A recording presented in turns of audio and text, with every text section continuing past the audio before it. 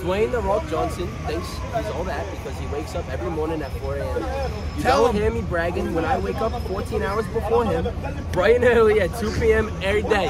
Rock Johnson. Fuck Dwayne The Rock Johnson. Give me one. Yeah, bro, bro. Hold on. You're gonna hold miss on. that training, mate. We're gonna fucking monster, mate. We're gonna fucking monster, mate. Dwayne The Rock Johnson ain't got fucking shit on me. We love, we love NYC. We love the fucking man. This is my boy Mikey. This is my boy Patrick. And we're fucking real. Welcome to fucking NYC, mate.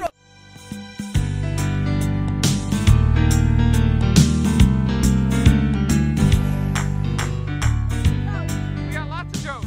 It better not be no racist. You don't like racist jokes? No, I'll get a little hey. Y'all not gonna be racist. If it's like y'all not gonna be racist.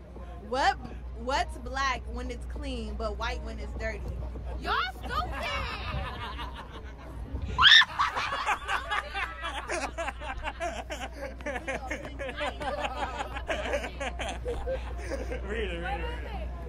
A chalkboard, but also Michael Jackson. Ooh, but also Michael Jackson. I don't know about that. I don't. I don't. I don't subscribe to that joke. There's nothing in the world as beautiful as a Latina woman in heels. She's also the most likely to curb stomp. Dude. She's also the most likely to curb stomp your penis and shoot it in the head. What did the Stop Asian Hate professor say to the Black Lives Matter professor? Protesters. No! I can't say that! Why not? What she needs in the Almighty. What she needs, Zhang Guo Bialdi. I don't want to know what that means. I don't, I don't want to know it's what that means. It's probably racist. It's probably racist. Definitely. Racist. It's.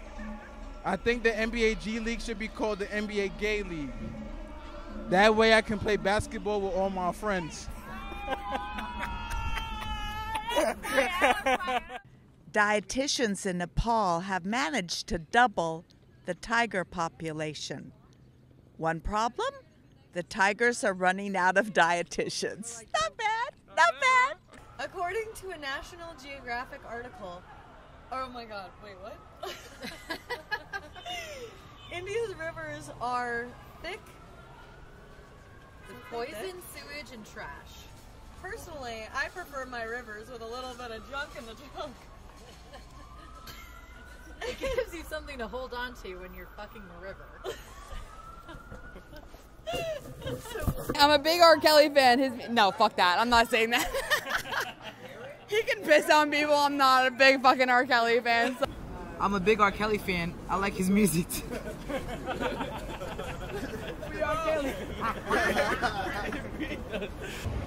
I like his music too.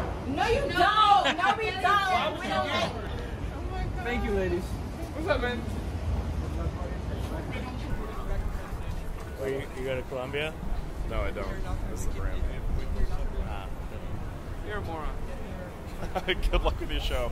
There's a new company that makes park benches out of recycled cigarette butts. City officials asked them to change the bench design so that the homeless won't want to sleep on them. So they're coming out with one that's made out of job application.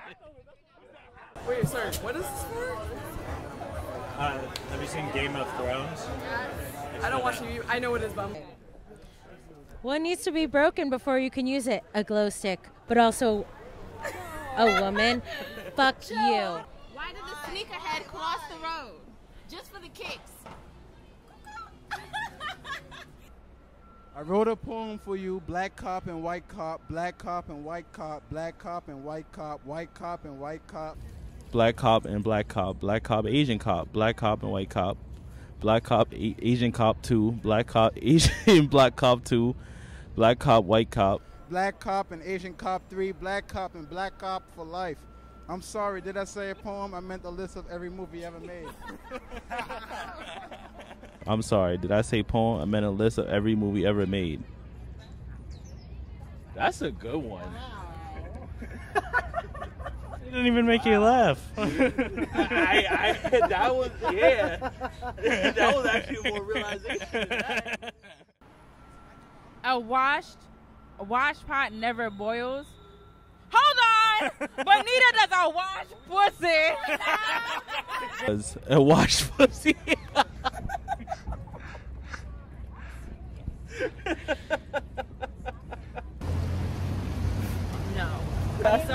I'm writing a movie called Jew-son Bourne. Juice and Born.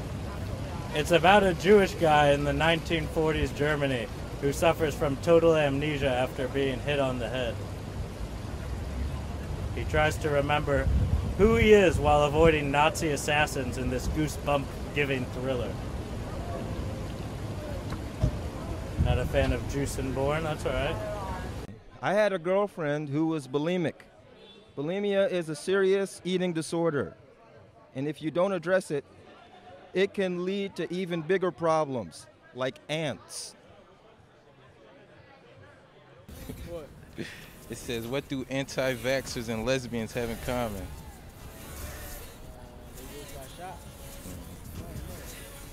They don't like mandates. A meth head told me meth doesn't cause you to lose everything and go crazy. It helps you let go of unnecessary possessions on your path to enlightenment. I asked her, are teeth an unnecessary possession? She said, sucking dick is the meaning of life. Listen, I love my fucking teeth. I love my teeth, and I love my dentistry, and I love my fucking orthodontist, so